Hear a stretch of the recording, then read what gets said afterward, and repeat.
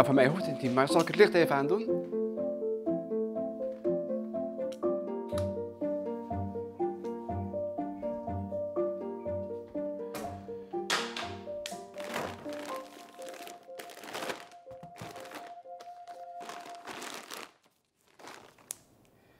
Het is 30 jaar geleden dat ik, al meer dan 30 jaar geleden dat ik kon zien. Ehm, hè, ik heb de helft van mijn leven kunnen zien en de tweede helft niet meer. Vroeger, eh, in de tijd dat ik kon zien, tekende en schilderde ik als hobby. En ik gaf niks om beeldhouden. Nou ja, op een gegeven moment ontdekte ik dat ik via de handen hè, ruimtelijke vormen, hè, zoals beelden van steen en van hout en uh, keramiek, dat ik eigenlijk wel heel goed kon voelen ook. Dat ik ook wel heel leuk vond om aan te voelen. Ik zat wel met allerlei plaatjes, eh, wat ik vroeger gezien had, van schilderijen bijvoorbeeld. Uh, beelden uit de natuur, bijvoorbeeld landschappen, uh, bloemen.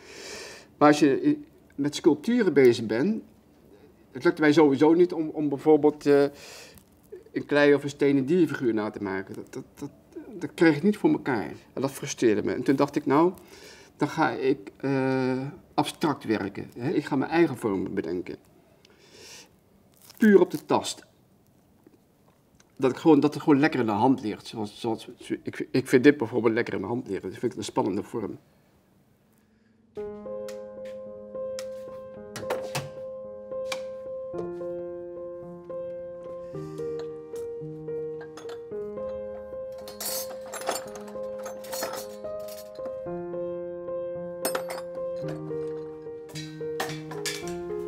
Rond mijn twintigste jaar merkte ik dat ik s'nachts niet meer goed zag. Ze noemden dat nachtblindheid. En er werd toen tegen mij gezegd van nou, je kunt nog wel heel lang blijven zien. Zij het door een smalle koker, maar u kunt nog heel lang blijven zien en lezen. Nou, helaas pakte dat bij mij niet zo uit, want toen ik 30 was, toen zag ik al vrijwel niks meer. Dus bij mij is dat achteruitgaan van het gezichtsvermogen heel snel gegaan.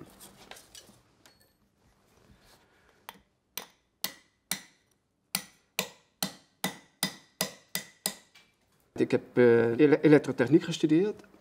Ik ben toen bij uh, Philips gaan werken, hier in Eindhoven, in de research. En ik heb um, de voorontwikkeling gedaan van de DVD-speler. Nu is het zo dat ik vanaf mijn ge geboorte ook slechthorend ben. En toen ik 31 was en ik moest stoppen met mijn werk, ja, toen ben ik gaan revalideren op het Looerf in Apeldoorn. Ik heb uh, braaien geleerd, ik heb leren stoklopen en allerlei andere vaardigheden geleerd op het gebied van huishouden. En toen hoorde ik dat ik een syndroom van Usher heb. Dat is de combinatie van uh, uh, een netvliesaandoening, de retinitis pigmentosa, en slechthorendheid. Het, het, het, had ook invloed op mijn eigen waarde. Hè. Ik voelde me ook nutteloos, niet meer waardevol. Ik voelde me nutteloos omdat ik mijn werk niet meer kon doen, omdat ik mijn hobby's niet meer kon doen, omdat ik niet meer van betekenis was voor anderen. Ik kon niet meer mee uitgaan. Dus ik voelde me ook een beetje, ja, ja, wat zou zeggen. Wat, wat, doe ik hier nog? Hè? Wat is de zin er nog van?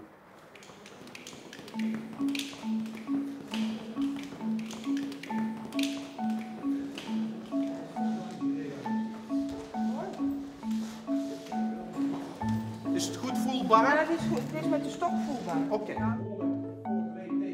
Voel maar eens. Gat, gat wordt groter. Voelen. Nee, voelen. Zie ik op een schip. Nee, ik vind Ja, de ja. structuur erin ook echt heel erg mooi.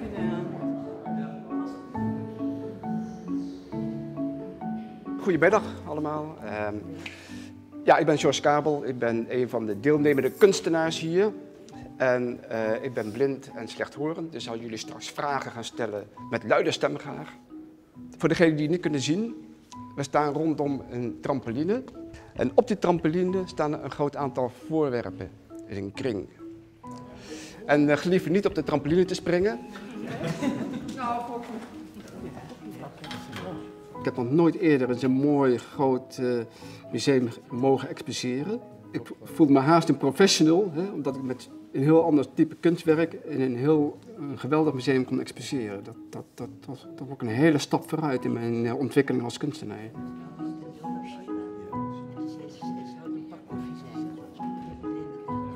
Ik ben ge- geïnspireerd door een schilderij wat zich hier in het museum bevindt. En dat schilderij is van de Poolse schilder Wilhelm Sasnal. Ik heb een afbeelding bij me voor degenen die het kunnen zien. Die zal ik nu laten rondgaan.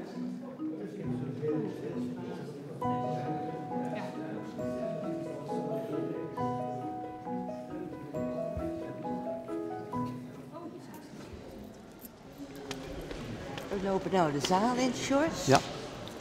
En we lopen nou naar het eh, schilderij. Je ziet de rug, hè? Dus mensen achter ons zien onze ruggen en die Oh ja. zien zijn rug. Oh ja, ja, ja. En dan staat hij, eigenlijk kijkt hij zo. Ja, En deze, ja eigenlijk zo, zo. ja, ja. Ik volg hier al een paar jaar de Special Guest eh, programma. Dat zijn de speciale rondleidingen voor blinden en slechtzienden. En het Van Abbe Museum heeft voor mij een, een, een- een wereld van kunst laten zien die ik anders nooit had kunnen ervaren. Dit, dit bovenhelftje van het oor zie je ook niet meer, de bovenhelft. Ja, ja. En je ziet dit stukje nog en dit Ja. verdwijnt dan helemaal in het zwart naar helemaal ja. weg. Met die beschrijving erbij ontstond er bij mij een beeld. Een, een, eh, een, hè, een beeld van een eenzame man die daar staat en ehm, naar een, een donkere achtergrond kijkt. Voor mij symboliseert dat de- een donkere toekomst, misschien ook wel een beetje onheilspellend. En dat het hoofd er niet helemaal op staat, dat integreerde mij enorm. Voor mij had het te maken dat die, zijn ervaringen of zijn kennis, dat dat er niet meer is uit het verleden. En dat hij dat verleden dus moet loslaten en ehm, een nieuwe stap moet zetten in de toekomst. Nou, toen ik dat besefte, toen raakte dat schilderij me heel erg, want de toekomst is dan wel donker, en, en, maar hij is niet ingevuld. Ik moet dat zelf gaan doen. En ik kan dat ook helemaal zelf bepalen. Dus hier ligt ook een groot stuk vrijheid. Hè? Ik ben weer vrij om opnieuw een start te maken, om opnieuw mijn leven vorm te geven. Ja? Mooi schilderij. Ja, ja.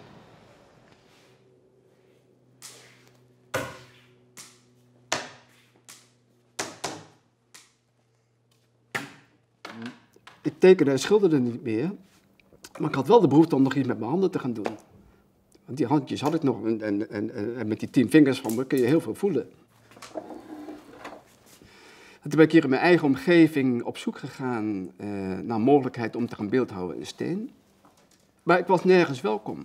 De docenten van die eh, centra die zeiden, ja, we hebben geen ervaring met lesgeven aan blinden, dus eh, ja, wij doen het niet. Nou, toen heb ik iemand gevraagd om in de Gouden Gids op zoek te gaan naar beeldhouwers hier in de omgeving Eindhoven. En er was er één beeldhouwer bij en die zei, kom maar. Want als vroeger als ziende naar het museum ging en ik zag een heel mooi schilderij, daar, kon- ik helemaal eh, ontroerd van raken of geraakt worden, of daar kon ik daar stil van worden. En ik merkte dat door het aanraken van beelden met mijn handen, door het af te tasten, door de vorm te voelen, dat ik ook weer geraakt kon worden. Het aanraken, daar kreeg ik weer iets voor terug. Daar werd ik weer door geraakt. En ik merkte ook dat ik met het beeldhouden en door te exposeren van mijn werk, dat ik op die manier weer van betekenis was voor anderen, voor, mijn omgeving en ook voor mijn eigen waarde, dat ik ook weer ja, in staat was om, om, om, om iets te doen voor anderen. Ik weet precies waar mijn spullen zijn ehm, en kan dat ook, ook goed op de tas terugvinden. Het wordt een probleem als andere mensen hier komen en gaan stiekem dingen verplaatsen. Dan, dan ben ik het ook echt kwijt. Ik doe zoveel mogelijk alles alleen. Dat is ook altijd mijn streven geweest. Maar er zijn een paar dingen die ik niet alleen kan doen. Dat is onder andere lijmen. Ik heb het één keer gedaan, dan zat ik met mijn vingers eh, toch in de lijm. En ja, op een gegeven moment zaten mijn vingers vastgeplakt. En eh, dat is niet handig. Dus dat, dat doe ik niet meer. En voor de rest, eh, het hakken, het schuren, dat doe ik wel allemaal zelf.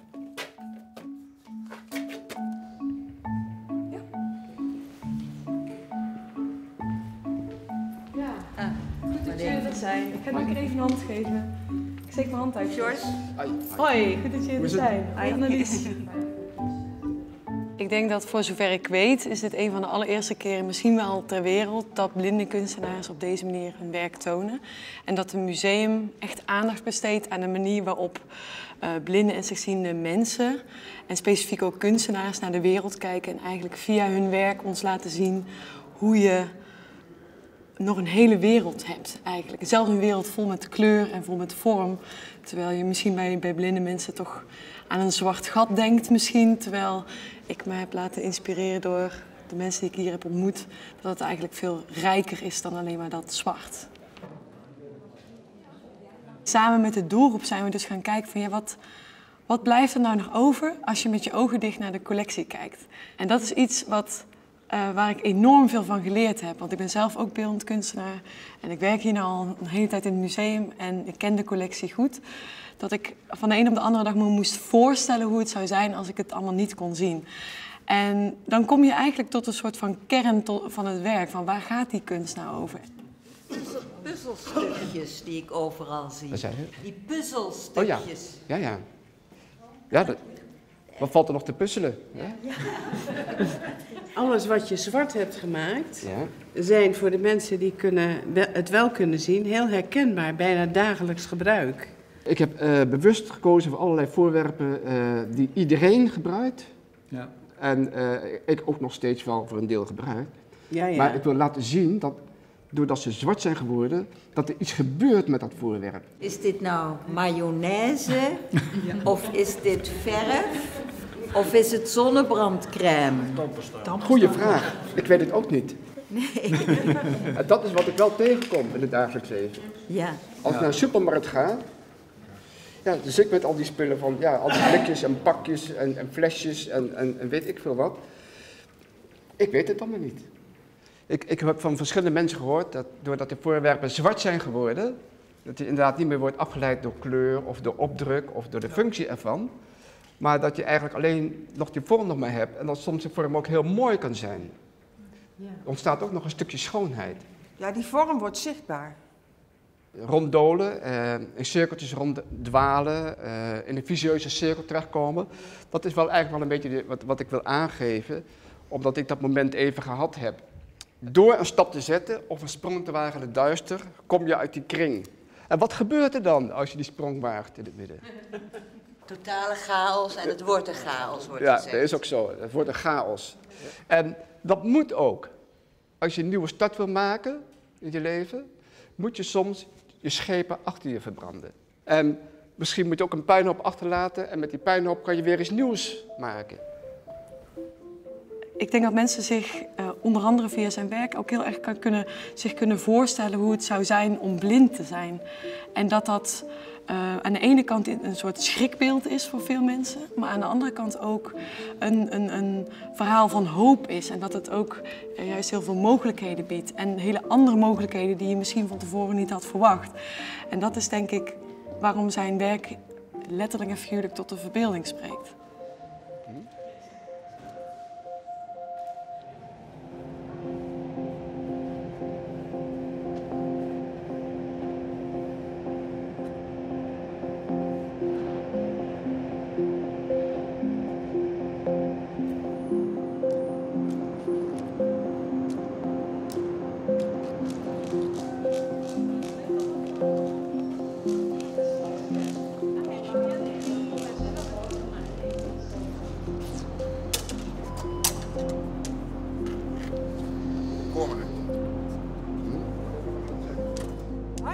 Hoi, dag Petra. Hey. Hoe is het?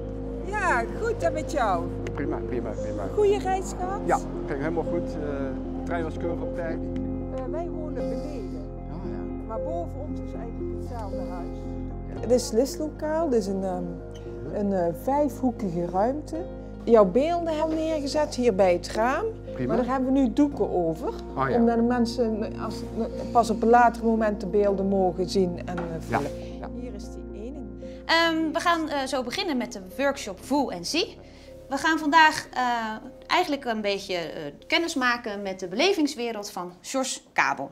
Het bijzondere van vandaag is dat we in een eh, groepsamenstelling zitten die uit verschillende mensen met een verschillende visus bestaat. We hebben mensen met Usher-syndroom, we hebben mensen die nog volledig kunnen zien en we hebben mensen die nog gedeeltelijk kunnen zien, gedeeltelijk met één oog.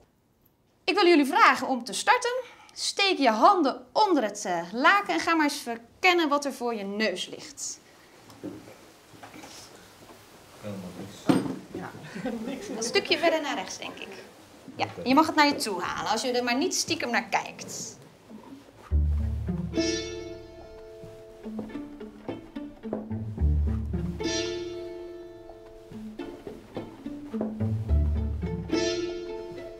Volgens mij is het een kip of een haan.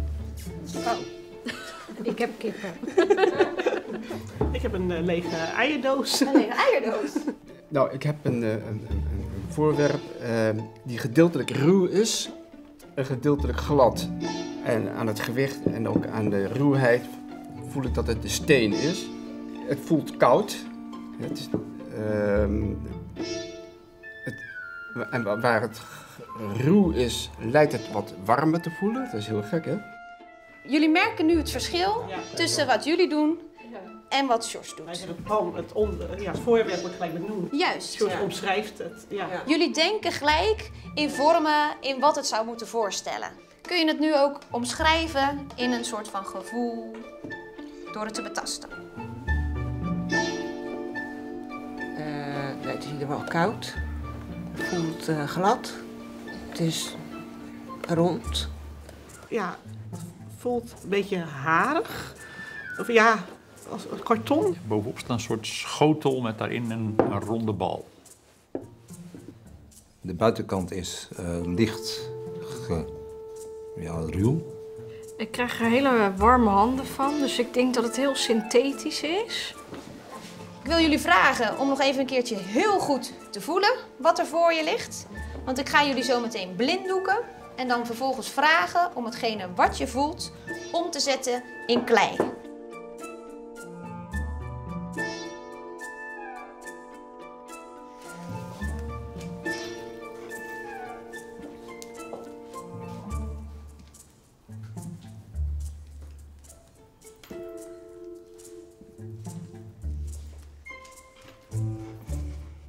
Ik heb vaak met grotere beelden meer contact met een beeld.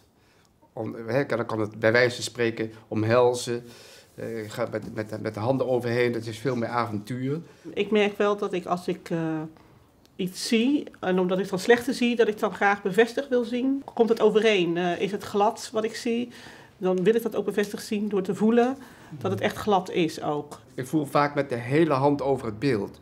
En een grote beeld, dan ga je echt met de handen eroverheen strijken. En zeker een beeld van een paar centimeter, dan voel ik al vaak helemaal niet meer wat het is. Het is te klein voor me. Ik voel dat niet meer met mijn vingers.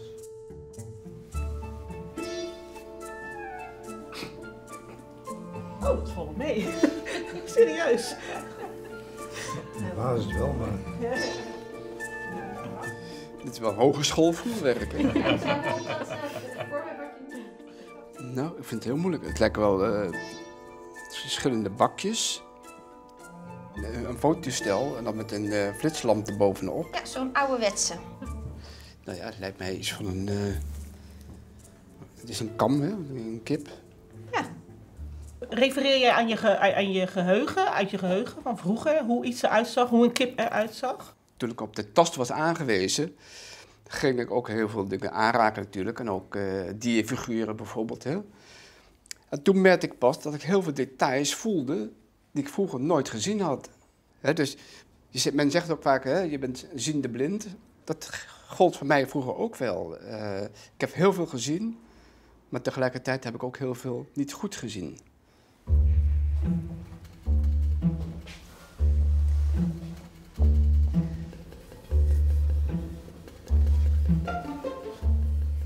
Soort vogel, denk ik, dat dit, dat dit zeg maar vleugels zijn. Meer echt een eh, paniekvorm eigenlijk. Het is niet echt een...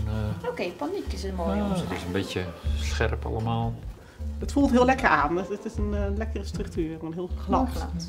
Ja. Ja, lijkt wel geborgen, zeg maar. Geborgen. Heel mooi. Dit is een veel opener en vrolijker en, en een warmer beeld dan het andere. Ik heb hele leuke opmerkingen over gehoord. Ik vind het altijd heel leuk trouwens, als mensen iets vertellen over mijn beelden.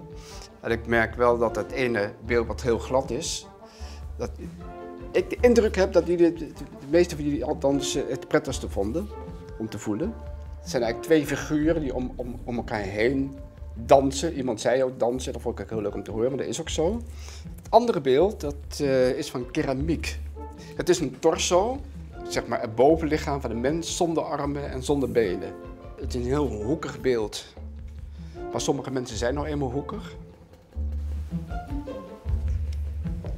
Ze staan voor het raam. Het licht is misschien gelijk een beetje fel, maar... Maar, die, maar ik dacht dat dit een arm was en niet een borst. Ik dacht eigenlijk dat er bijna ja, losse... Losse blokken of zo. Ja, losse tegen... Ja. Nee, het is één geheel. Ja. Maar wel op basis van uitgesneden driehoekjes klei. Die heb ik op aan elkaar geplakt met klei ook weer. hè. Ja.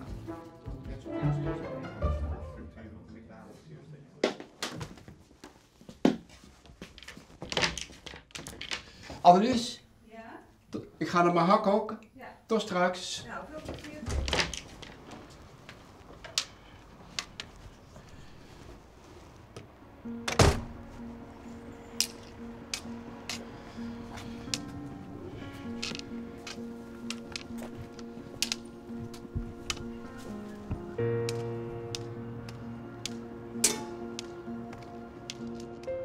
Ik vind het eigenlijk een beetje heel raar dat ik loop op straat, heel eenzaam en alleen te zijn, terwijl er eigenlijk heel veel mensen zijn. En vroeger, toen ik nog kon zien, ja, dan kwam ik wel eens bekende mensen op straat tegen en dan zwaaide ik naar ze, bijvoorbeeld hè, mensen die in dezelfde straat wonen als ik. Maar dat kan ik dus helemaal niet. Het, het, kan niet anders zijn dat als ik op straat loop, dat er mensen zijn die ook mij, mij kennen. Hè? Want woon hier al eh, zo lang in deze buurt, dus mensen moeten me onderhand wel kennen. Maar waarom horen ze dan niet? Of, of, of, of spreken ze niet?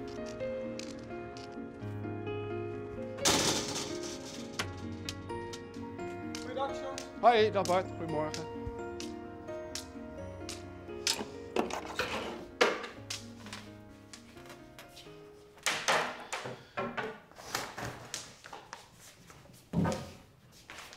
Ik ben op zoek naar eh, een andere manier van, van uitdrukken in kunst.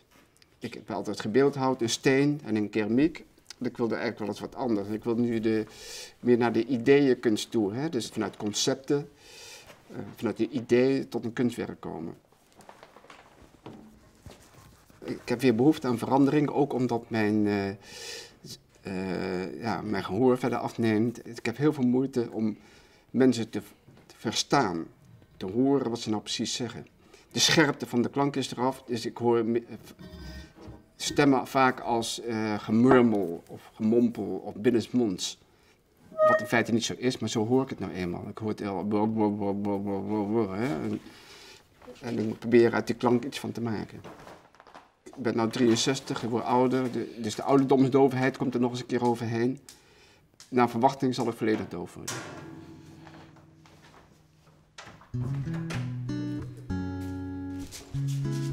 Hey Sjors. Hoi, dag Marie. Ach, ben je daar? Hè?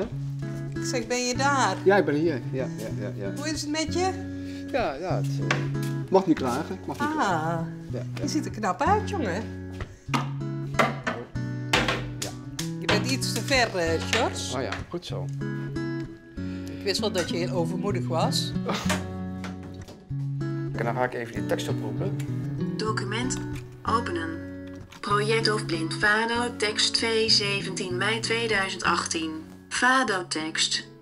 Onverstaanbare klanken en af en toe gelach. Geen mogelijkheid erbij te horen. De een praat te snel, de ander binnensmonds. Mijn oren overspannen en mijn hoofd dolgedraaid.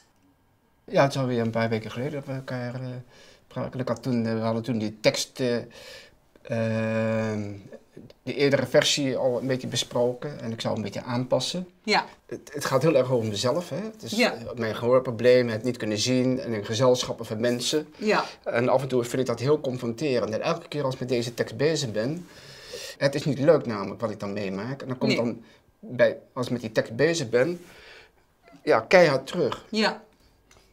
Gemurmel, gemompel, wat zeg je? Daar, een paar woorden, waar gaat het over? Zeg het nog eens, dicht bij een vragende melodie. Koortsachtig zoek ik naar betekenis.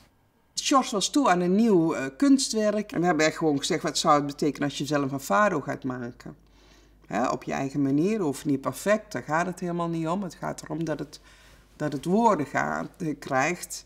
En met name woorden krijgt die gaan over zijn uh, ontwikkeling uh, naar doofheid. Ik heb vroeger uh, altijd uh, veel met muziek gedaan. Ik heb ook met, muziek gespeeld op piano en gitaar. Ik was ook erg geïnteresseerd in bluesmuziek. En um, later kwam ik de fado op het spoor. Ontdekte ik de fado, de Portugese muziek. Dat is eigenlijk voor mij ook een soort bluesmuziek, maar dan de Portugese blues. Ook muziek waar heel erg aankomt op gevoel.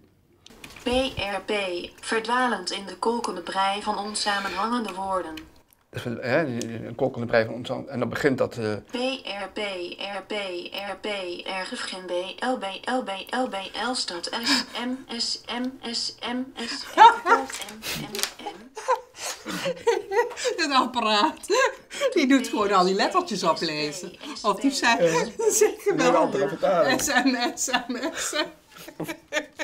Want dat is ook wat ik heel vaak tegenkom. Hè. Er zijn mensen in gesprek of zo en hebben ze een grapje of een opmerking. Ja. En, en ik, ik hoor dat ze aan het praten zijn, ik hoor af en toe hoort alleen eens gelach, weet je wel. Ja, ja, ja. Dan weet ik helemaal ja, waar het over gaat. En nee. Ik, uh, dat vind ik altijd zo... Uh, dat is irritant, genant, hè? hè? Dat, dat ik dat dan niet, mee, niet meekrijg. Nee. Ja, ja. Dan ga je niet mee zitten lachen.